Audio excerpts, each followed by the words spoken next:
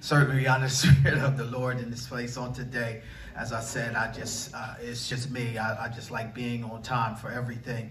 Uh, if I possibly can, but I just thank God that He just allowed us to get here on today. Amen. Amen. To be in this house one more time, because some didn't.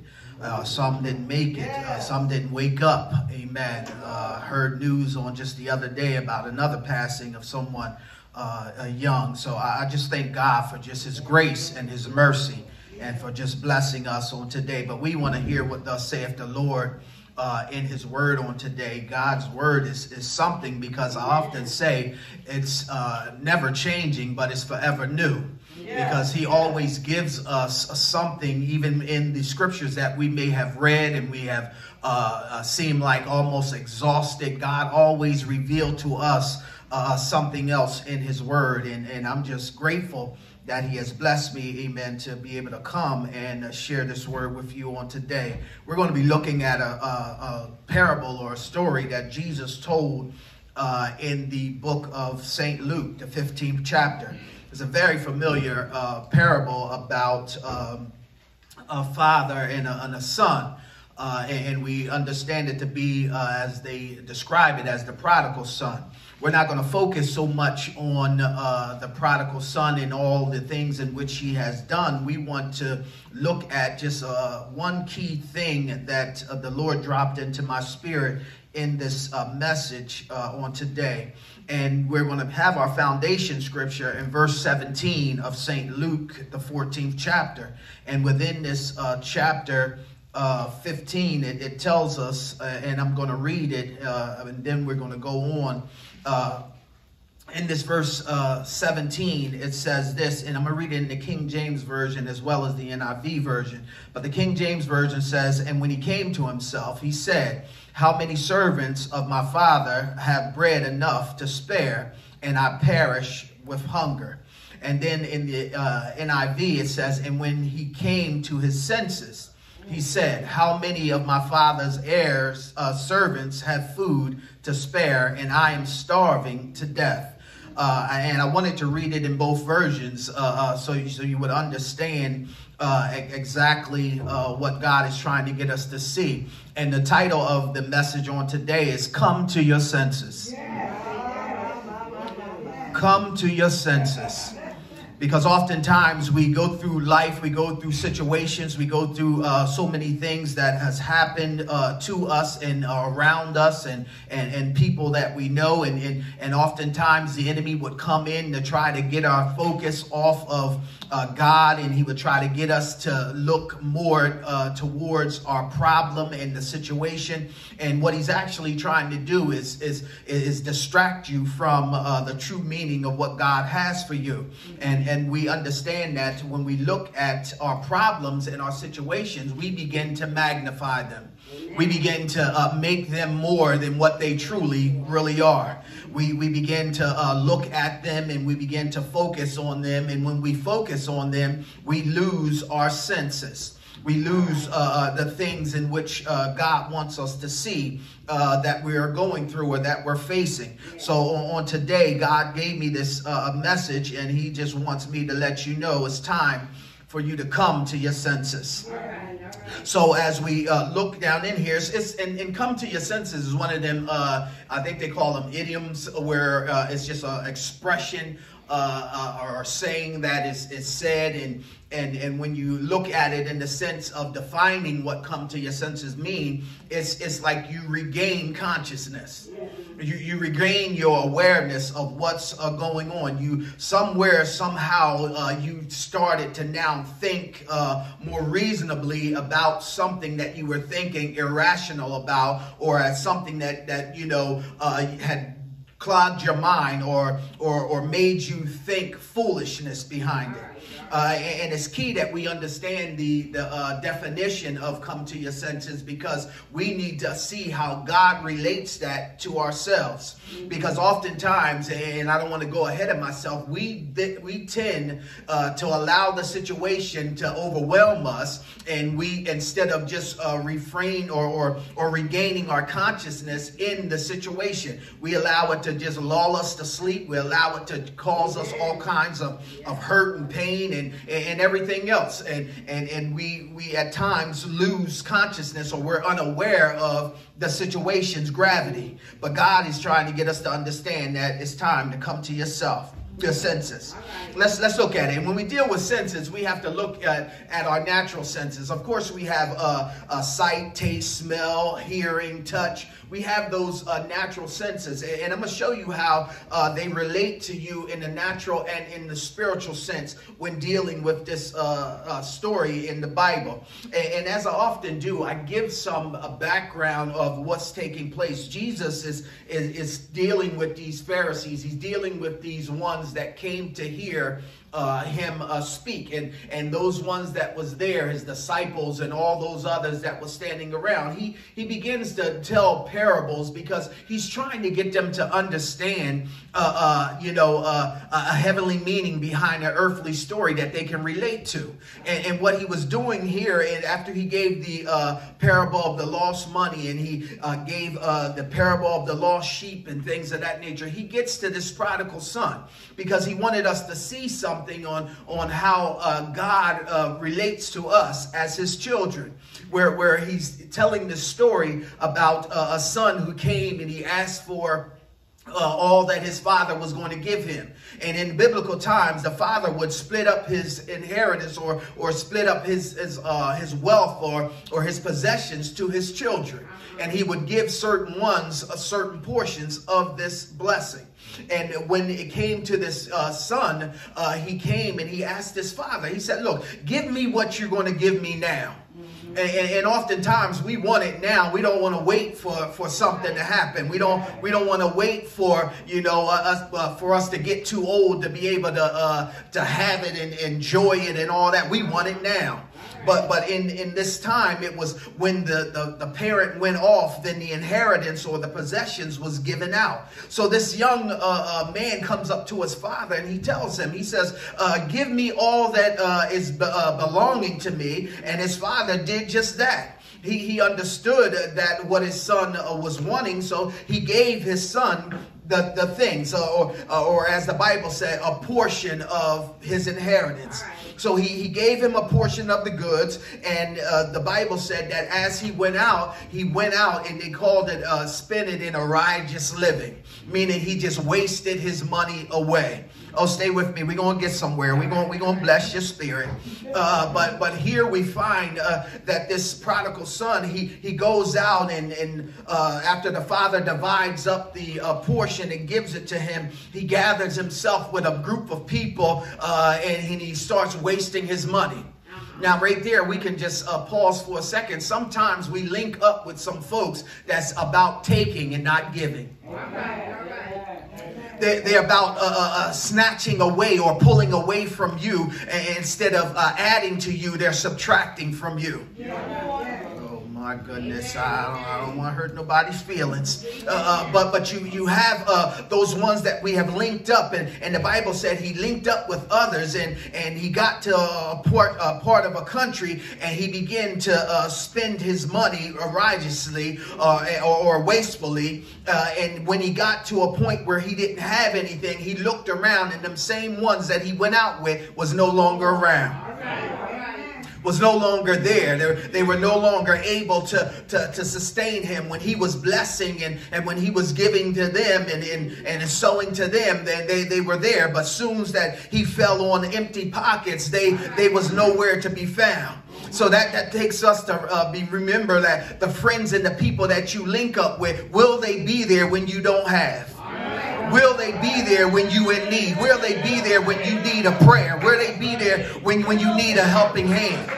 That's the question that we need to ask ourselves. Uh, and the Bible says that he spent all that he had in verse 14 and he rose up there. Then it became a mighty famine in the land. And it says, and he began to want. This guy, after he gets what his father has given him, wasted up. And then a famine hits the land. And then he, uh, there was nothing left. And, and he was in the uh, state of wanting, meaning he didn't have anything. Verse 15 and 16 lets us know that he joined himself to some citizens of a country and he then began to, to work, if you will, and he began to feed uh, uh, some swine. And, and then at one point in his life, he got to a point where he was so desperate that he said, I'm, I'm about to eat the slop that I'm feeding of the pigs. And, and he came uh, uh, in that uh, verse 17, which is our foundation scripture. The Bible said that uh, he came to himself, or in other words, when he came to his senses.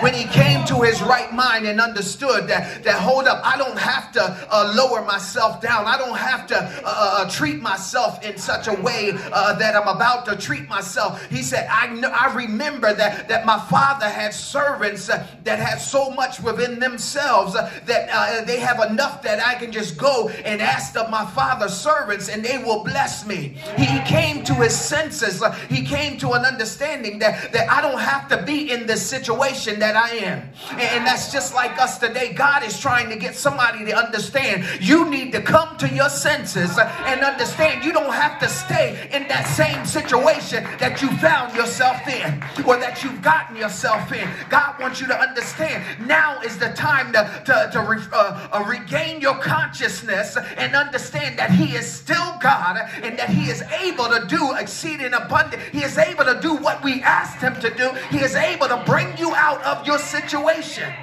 But you got to come to yourself. You better get your senses together.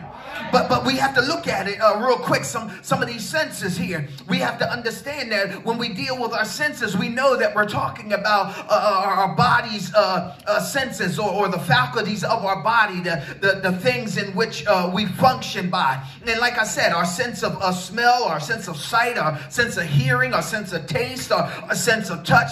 All of these things play a part in our life. But when we look at them in the natural, sometimes we say this: we when when we're thinking about it and when we're dealing with sight, we say, uh, we, we say that something doesn't look quite right. This is you coming to yourself. You, you say something don't look quite right. Uh, it just don't seem like uh, it, should seem. And, and, and I'm reminded in the book of Exodus in the 14th chapter where Moses was trying to get the children of Israel to the promised land. And they was, of course, dragging their feet. And they got to a point where they seen their circumstances. Their sight uh, started to, to, to, to fail them in a sense because they, they were leaded out by, by God and by his pillar of fire and his, his his cloud and all those things. And they had God on their side, but, but something happened to their sight. Something happened to what they were seeing. They got to a, a, what we call a rock in a hard place, literally. They got between two mountains and, and the Red Sea and Pharaoh behind them. And they begin to focus or look on uh, things and they lost sight that they were serving a God that brought them out of 400 years of bondage uh, and God that brought them from uh, under the, uh, uh, the rule of Pharaoh to a place where he was taking them for uh, uh, milk and honey and all those things. They had lost sight. And Moses says to them, he, he told them, he says, fear not. Uh, and, and he said, and stand still and see what? The salvation of God. And he will show you. And he's dealing with the sight. He says, see first. he said, then he will show you. And then he said, and you will see on this day that the Egyptians shall not bother you no more. So as I said before, sometimes we magnify our problems problems, uh, we magnify our situation and we look at it with natural sight and not looking at it in the spiritual sense. When I look at it in the spiritual sense, it lets me know that God is on my side and God wants me to focus on the spiritual side and not what my natural man sees. Because oftentimes this flesh is weak, but my spiritual man is so much stronger than this flesh. My spiritual man, I can speak to this flesh and make this flesh begin to get get some uh, control with itself. But when we look at it in the spiritual, they were in a rock in a hard place, uh, but they were focusing too much on the situation and the problem. And God said, I don't want you to focus on that because when you look on that, you give limitations. God said, I'm a God of limitless power, and all I got to do is speak to your situation. All I got to do is open up your blinded eyes so you can see exactly what I want you to see. And when God begins to open up your sight, you can then understand that I can now see my way out of this situation.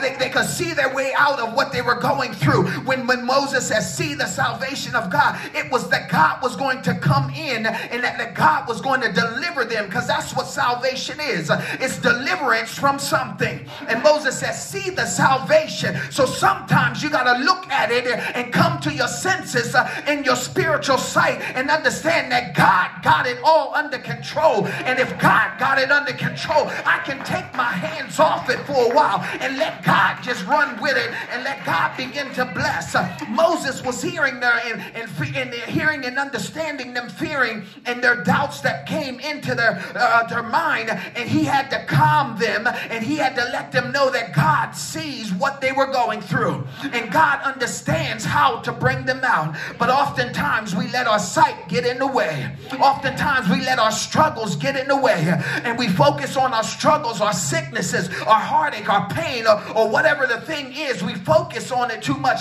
And God said, if you quit focusing on those problems, uh, God said, you will see I already blessed you through those problems uh, and you are still yet here standing uh, and God is going to make a way and God has showed you the way. All you have to do is now focus on what God say do and he will bring you out. Oh, glory to his name. Oh, we can get, we can get ready. We can get there. Uh, uh, so, so the, the, the Bible in Psalms, trying to refrain myself. The Bible tells us uh, in, in, Psalms 34 and, and, 8, it tells us, oh, taste and see. See, it's just two things here. And, and we're going to deal with that taste in a minute. But, but when, when, when David said, oh, taste and see that the Lord is good, and he, then he said, blessed is the man that trusteth in him. He had to tell them, when you see the salvation of God, when you you see what God has for you, when you understand in the spiritual sense uh, all the blessings that God has bestowed upon us and the promises that He had, He said, when you see this thing, you will understand that it's good and it's not it's not only good, but it's, it's, it's, exceptionally good. And he said, Taste and see, and you will understand that God is good. But he put a clause in there. He said, But blessed is them that trusted in him. So I can't let my eyesight uh, mess me up from seeing what God is about to do. I understand that I'm going through situations, I understand that I'm going through heartache and pain. But thank be to God, I see my way out uh, because God always makes a way of an escape for his people people, and God will make a way of an escape for you each and every time. All you have to do is understand that on today. But He said, taste and see. So let's deal with that tasting for a moment. Sometimes you say to yourself, I, I got a bad taste about that thing. What that is telling you is you came to your senses. It's saying that something is just not right here. I don't know what it is, but it's leaving a bad taste in my mouth. They are doing too many things. I see too many things happening and it's leaving a bad taste in my mouth. David understood that once he tasted this thing, he understood that this world was about nothing. He understood that this world wasn't giving him but pain. David said, But when I tasted and I saw this thing, I understood that God was good. He said, I understood that if I trust in him, he will bring me out every time. So you better taste this thing on today. There's a sweetness of God that we taste. There's a sweetness that God wants of us. And if we understand it on today, God said, if you taste and see me, God said, if you understand how good I am, He said, I will bless you so. I will bless you abundantly. Hallelujah. In this place, God is looking for a certain taste in us. Hallelujah. In this place. Oh, we ready to get into it now. Let's jump down to our smelling sense. Uh, sometimes you say something just don't smell right. Uh, what it is, you came to your senses. Uh, you understood that I know something is fishy in this situation and I'm not going to no longer stand here. But we have to understand the enemy. The enemy will have your senses dull. He will have your senses to not function. But thank you, Jesus, on today. I have a spiritual sense of smell. I know when the enemy is up to something because it just don't smell right. I know when the enemy is trying to destroy because it just don't smell right. Hallelujah in this place. So I use my spiritual function and I understand like Isaac said. Hallelujah in this place. Isaac said, I got to smell my son. He was going through to give out his blessings. And he called forth his son to come in. And Jacob did something slick. Him and his mom began to try to uh, connive their father Uh, to receive the blessing. Uh, and Isaac said, Come here, son. Uh, he said, Your voice sounds like Jacob. Hallelujah. Here. You're saying that you're Esau. But, but you, he said, You're saying that you're Esau. But your voice sounds like Jacob. He said, Come a little closer. Hallelujah. In this place, God is calling us a little closer. And watch what he's about to do. Isaac said, When you get close to me, I'm going to use my sense of touch first. I'm going to touch to see if he feels like my son. Oh, glory be to God. God is saying, I'm reaching out to touch to see if you are one of mine. But first, I want to get you close. And Isaac got him close to him. He began to smell him. The Bible said he sniffed him real good. He smelled him real close. He said, Come close and kiss me. When he drew nigh unto Isaac, Uh, he smelt his raiment, the Bible said, uh, and he put on a fake raiment. Uh, he knew his son Esau smelt like the outdoors. He knew his son Esau had hair on his body. But he said, If I can just touch him, I'm relying on my senses right now. He said, I don't have eyes to see, but I have ears to hear. He said, You sound like my son Jacob, but if you come close, I'll use a few more of my senses. I'll touch you to feel to see if you're real. He touched him and he said, Well, you got the furriness. He said, But come and lean in and give me a kiss. When he leaned in to kiss him, the Bible said he smelled his son. Hallelujah here. Though Jacob still was deceived and he gave that blessing out, he still used his senses. And God is saying on today, where is the smell that I'm looking for? Hallelujah in this place. Don't you know in the back in the Bible age, when they went into the temple to uh, give the offering, God said, I need the smell of smell. I need to smell that sweet smelling savor. I need that aroma coming up unto me. He said, I need to smell what you're talking about. Hallelujah in this place. You can identify somebody by their smell. Oh, glory be to God. And he said, I want to smell your praise. I want to smell your worship. Hallelujah in this place. So in our spiritual senses, you better come to your senses today and understand you're putting off an aroma that God is trying to smell today. And God is telling you right now, I can't smell nothing because you sit there like you don't know me. I can't smell nothing because you act like you don't care. I don't smell nothing because you ain't giving me no worship. I don't smell nothing. Hallelujah in this place. But he's smelling for us. And he said that I want to smell that Savior. And he said, when I smell it and it's good and pleasant to me, he said, I will bless you I will bless you so. But in the book of Malachi, I tell you, your smell means something to God. Because in the book of Malachi, the Bible said, God said, I will no longer smell your smell. It stink unto me. Hallelujah in this place. So how you smell counts. How you smell to God counts. And he said, I will no longer smell your smell because it unto Why was it stinking? Because they wasn't doing what God said to do. They were out there living all kinds of ways. They were out there doing all kinds of mess. And God said, it's stinking unto me.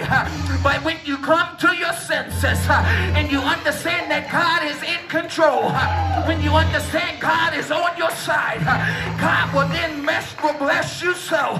Hallelujah. That when you praise God, it mingles in the air. When they went in to praise God, it would mingle with the incense. And that prayer would go up unto God. And he would smell it and say, Oh my goodness, you gave me a good sacrifice. God is just saying all he wants is a little sacrifice. A sacrifice of praise. Do I have two or three people here today that don't mind giving God what he's smelling for? That don't mind giving God what he wants? And that is a sweet smelling Savior to go up into his nostrils so he can begin to bless your situation, that he can begin to move on your behalf. Hallelujah in here. You better tap somebody right now and shake them sure enough and say, come to your senses. You got to give God some praise. Come to your senses. You better understand God is here. Come to your senses and refrain from regain your consciousness because God is wanting to move in your life. But let me get to touch. Let me get to touch right now. Sometimes you say this don't feel right. Hallelujah in this place. And what it is is you came to your senses. Isaac again, if you look at it, when he said to his son to come close, he wanted to touch and make sure it was him. And when he touched his son, he said, you feel like my son Esau. Hallelujah in here. Let me tell you something. When God touches your life, when God lays his hand hands on you. Oh, there's an exchange of a blessing going on. I'm reminded in scripture right now when Jesus went about doing all he could do, he touched the untouchable. He touched the things that he was not supposed to touch. He touched leopards and they were healed. He touched uh, uh, people with uh, issues of blood and they were healed. I'm reminded of that story when the woman with the issue of blood, she said, I know I got to touch him naturally. She said, I'm going to touch the hem of his garment. But she said, this touch that I'm touching, I know my blessing lies in it. And when I touch him, I know he shall re- uh, uh, pull this blood up in me. I know I shall be made whole. She pressed her way to the crowd. She fought her way through. Hallelujah in this place because she wanted a double touch from God. She wanted to touch him naturally, but she wanted to touch him spiritually. Hallelujah in here. The Bible said there's something about that touch because let's look at it real quick. When she touched Jesus, he felt the touch in hem of his garment. Let me tell you something. It was what was attached to him. She didn't touch his skin because oftentimes if you walk with something flowing and somebody touches it, you can't feel it. But Jesus, virtue was in it. And when she touched that hem, he said, wait a minute, I felt a touch. They said, hold up, Father. Hold up, Rabbi. Don't you know the crowd is thorning you? He said, yeah, I know the touch of the crowd. He said, but there's a different touch here. There was a touch of faith. There was a touch of desperation. There was a touch of pleading. There was a touch of I need deliverance. He said, but no, somebody touched me. Why? Because I perceive some virtue has come out of me. Hallelujah in this place. That touch that she did, Jesus then, uh, that virtue went out and touched her spirit. It touched her body naturally. And she began to worship. She was frightened in her spirit. But he said, I understand your touch. He said, daughter, be of good courage. He said, uh, your faith has made you whole. Hallelujah in this place. So it's very important how you touch, and it's very important how you get touched.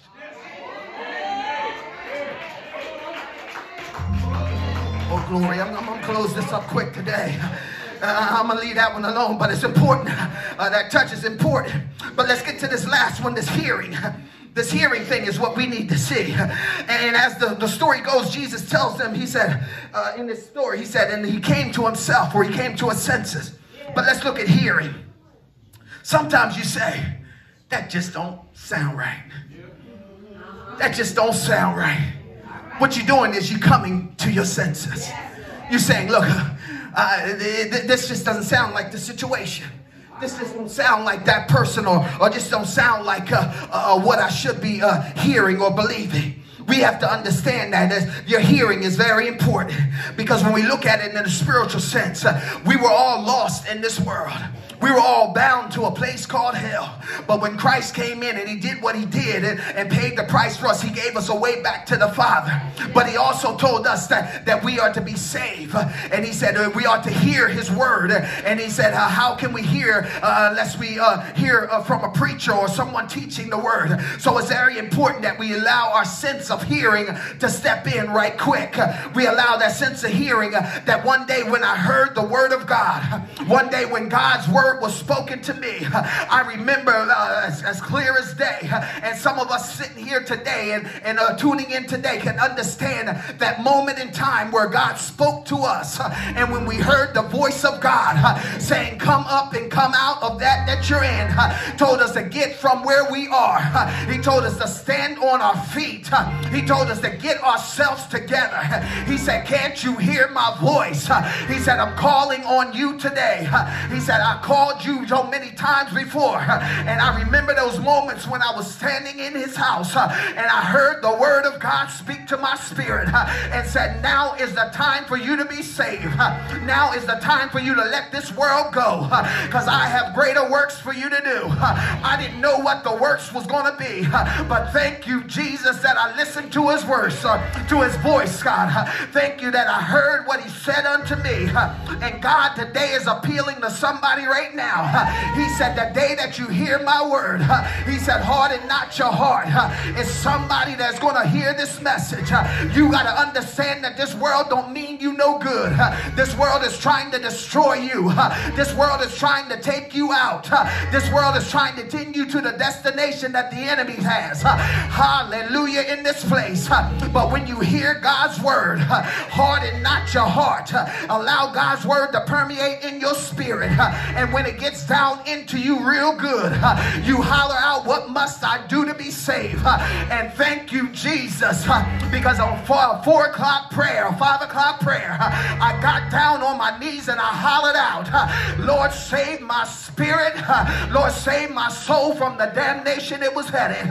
And God spoke sure enough to me, sure I standing here, and said, My son, I shall save you. He said, Greater work shall you do. Hallelujah in this place. So you need to let your senses speak up and understand the hearing the voice of God. Because you know the difference between the voice. You know if the enemy is telling you something to do something bad. God is not going to tell you to do something that's hurtful. God is not going to tell you to do something to destroy somebody. God said, I come that you may have life and that you may have it more abundantly. The enemy placed in your mind, rob, kill, and destroy. But God said, life is in you. Can you hear God speaking to you today? Come on, use your senses right now. Or as the title of the word says, come to your senses right now and let God begin to speak to your heart. Let God begin to speak to your spirit. And when God speaks to you, trust and believe you and know it's God. And God will begin to bless you like never before. He will open up your understanding. And the thing about it is, oftentimes when we hear something, we are so quick to believe a lie. We are so quick to believe what a, a false truth about somebody. Why is that so important today? In the sense called hearing. Because when we hear this thing, Somebody is spreading lies. You have to understand it comes from the father of lies. He told that lie in the garden. He told it to Adam and Eve.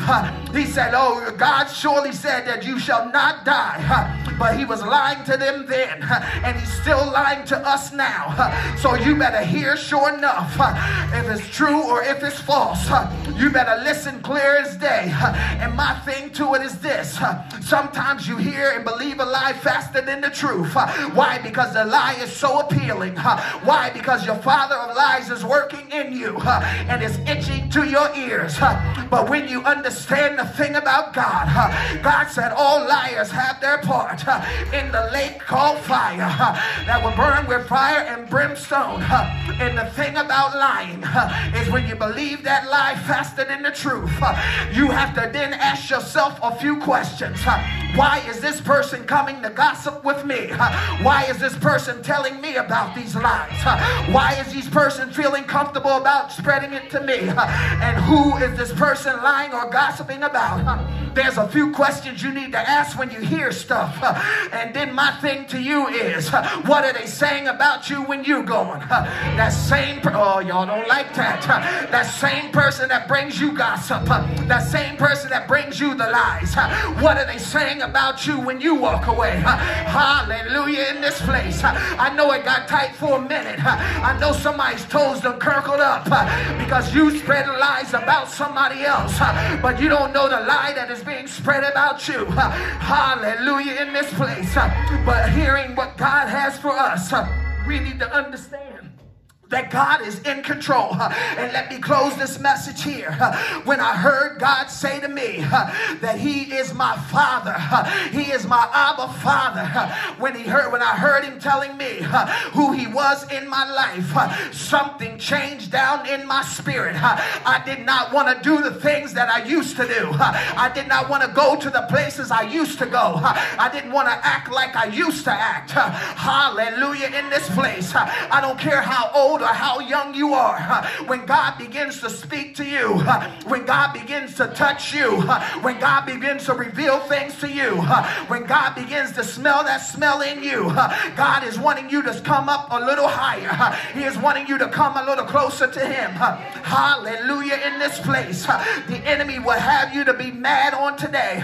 The enemy will have you to be uh, uh, misunderstood on today. But I want you to regain your consciousness right now. I see some of you have already went to sleep in your spiritual mind. Some of your senses has already been dulled. Some of your senses have already been singed. But God said, regain your consciousness. If I got to be the prophet right now, if I got to be the one to tell you right now, God has a far better blessing for you than this. God has what He is has in store for you than this. And if you trust and believe God today, God will allow you to come to yourself senses and you can come back to the Father. Because as the prodigal son story ended, and I'm closing, he said, I know my Father got people in his house that can sustain me, sure enough. But he said, when he got there to his Father, the Father each day would be looking down the road. And when the Father seen his son coming from afar off, he said, There is my son coming. When his son came up to him, the Father opened up his arms and took his son in. God will do us the same way on today. Yes, we may go astray. Yes, we may backslide. But God said, I'm married to the backslider. He said, All you got to do is come back unto me. Come to your senses right now. He said, Just come on back unto me. And when he came to his father, his father could have shunned him. His father could have cast him out. His father could have denied him. But the Bible said that the father said unto his son. He said to a servant, Go get a robe, drape it back on his back, go get a ring and place on his finger. Hallelujah in this place. Then he said, Let's go get the fatted calf. Let's kill it and have a, a party in this place. Hallelujah in here. Let me tell you, when you come back to God and when God is calling for you to come to your senses, all you got to do is believe that God is there with open arms and God will hug you back in. Hallelujah. In here, it's nothing like an embrace from God. It's nothing like an embrace from God. And He welcomed His Son back into the fold. But let me tell you this, and I must explain this uh, that the brother came out of the field. Uh, he came looking and seeing what was going on. Uh, he said, It sounds like a party going on. He said, What's going on in daddy's house? When he got uh, to a servant, he said, What's going on in there? They said, Your brother is now back. Your daddy said, Kill the fatted calf. And we killed the fatted calf, and now we're partying. We're celebrating his return. But let me tell you something in this story. The brother got so upset, the Bible said he got angry. And trust and believe, when you come to your senses, somebody's going to be angry. When you come to your senses, somebody's not going to like it. When you come to your senses and you say, I'm no longer going to be out here dwelling among swine. I'm no longer going to be out here fooling with the pigs. I'm going to go back to my father's house. So what you're saying and Jesus is saying in the parable that any given time you're ready to come back, God is waiting on you because he's never left you. He's never forsaked you. So anytime that you want to come back, the Father is waiting with open arms. Do I have two or three people that will declare the day that you come to your senses? that you understand exactly what I'm talking about. The Father is saying, Come on back. He said, You are now regaining your consciousness. The world had you blinded for a moment, but He said, Come on back unto me. And He's there to welcome you in, He's there to bless you and restore you. The prodigal son was restored back to his position.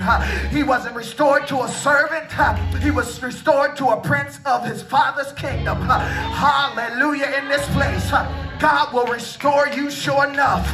But the moment you come to your senses, you have to realize that I got to go back to the Father. I got to come back in a humbling spirit. I got to come back knowing that I did wrong. I got to come back and ask God for forgiveness. The son said, I know I wasted my spending. I know I did what I did, Father. But if you just welcome me back into the fold, hallelujah here. God is saying, I will restore you. Will bless you so. Hallelujah in this place. But you need to come to your senses. You need to get your mind right. You need to understand that the enemy is trying to destroy you. And as I return to my seat, you need to understand something sure enough that when you come to your senses, the enemy is going to be mad. The people around you are going to be mad.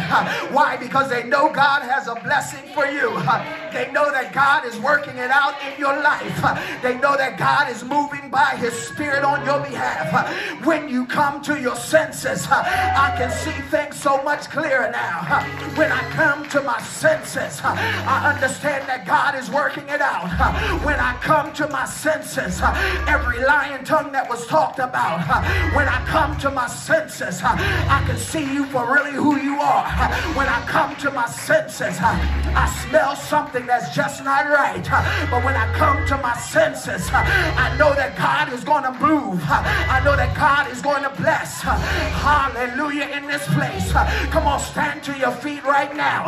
God said, I'm trying to smell something here.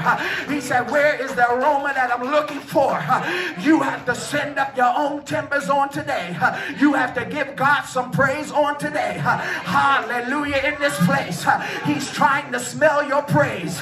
He's trying to see what you're all about. Hallelujah in here. Look, don't be scared to give your praise. Don't be scared to praise God. Don't worry about the person next to you. Don't worry about what they might say. Don't worry about if they're saying that you're not real. Hallelujah in this place. God is saying, I want to smell something. I want to smell something sweet into my nostrils. Hallelujah in this place. Are you coming to your senses? Or are you still going to stay in that state of unconsciousness? God said now is the time to regain it because this is the moment in time. He said the waters are troubled in this nation. God said I'm ready to do a sweet clean and I'm about to do some miraculous things. Oh, glory be to God. Thank you. God said if you stay in my will. God said if you stay in my plan. God said, I will bring you out. I will bring you out better than what you are right now. Hallelujah in this place. Do I have some worshipers here today? Do I have somebody that don't mind giving God praise? That don't mind giving God some glory? Hallelujah in this place. You better come to your senses today. You better understand something right now that God is waiting for you. You're not waiting on God. I just got to give God my best praise right now. And the highest praise is hallelujah. Hallelujah, God, for blessing me. Hallelujah, God, for making a way out of no way. Hallelujah, God, for fixing the problem. Thank you, Jesus, on today. Let's put our hands together one more time for the Spirit of God. Glory be to his name.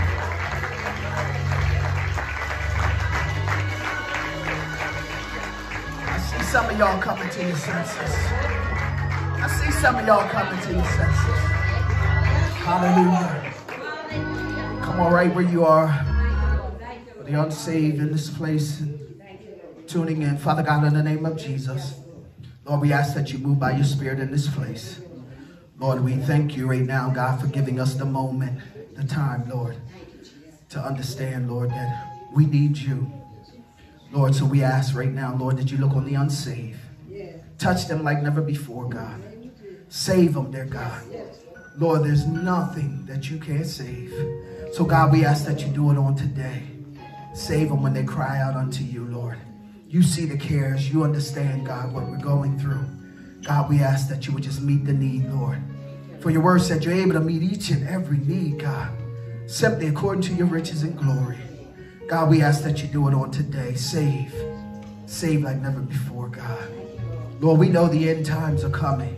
We know that they draw near, God. But Lord, we ask, Lord, that you would just continue to save your people. Touch them, God, in a special way. Those of us who are saved, God, we ask that you continue to bind us there, God. Continue to keep a hedge of protection around us. That when the enemy tries to come up against us like a flood, Lord. Lord, you said you would lift up a standard against him. So, God, we ask that you will fortify this hedge of protection. Bless us, dear God. Cover us with your blood. Saturate us, overwhelm us, dear God. Lord, we just thank you. We praise you, God. Lord, because we understand, Lord that even though we're going through natural things, dear God, you said that you can turn them into supernatural. Lord, even though we're going through ordinary things, Lord, you said you can turn them into super glory and extraordinary. So, God, we ask that you do it, dear God. In the name of Jesus. Lord, and we'll praise you, we'll worship you, we'll magnify you.